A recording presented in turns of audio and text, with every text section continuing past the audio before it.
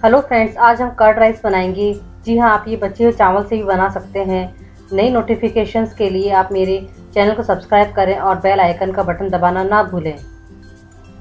मैंने यहाँ पे सभी सामान और सभी इंग्रेडिएंट्स की लिस्ट दे रखी है। प्लीज़ आप उन्हें फॉलो करें तो आप परफेक्ट कर्ड राइस बना पाएँगे।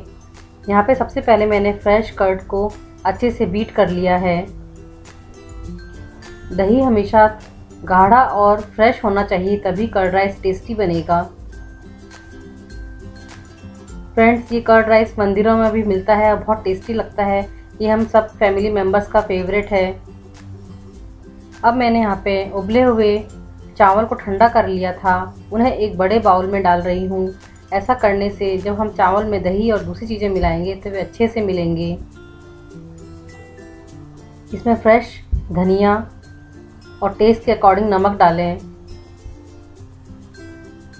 अगर आपने इसमें उबालते वक्त नमक डाला है तो नमक डालने का ध्यान रखें।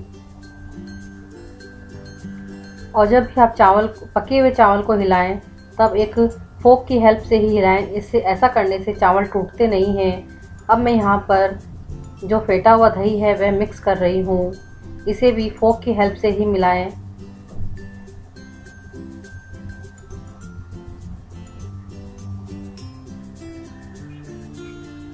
आप ये कर्ड राइस बचे हुए चावल से भी बना सकते हैं।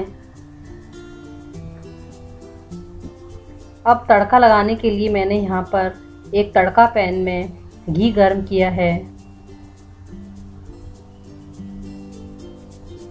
इसमें साबुत सूखी लाल मिर्च डालें और राई के दाने तड़काएँ। थोड़ी सी उड़द दाल और चना दाल भी डालें।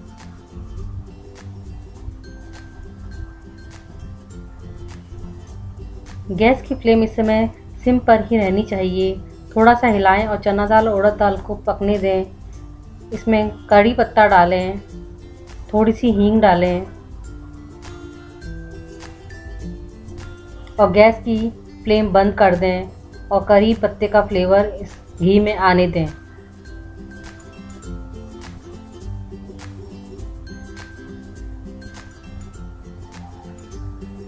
अब इस तैयार तड़के को चावल और दही के मिक्सचर में डालें और बहुत ही सावधानी पूर्वक धीरे से हिलाएँ ताकि चावल टूटे ना।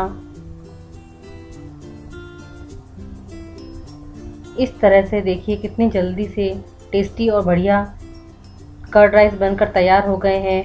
आप भी इसी तरह से कर्ड राइस बनाएँ, खाएँ और अपने एक्सपीरियंस हमारे साथ शेयर करें।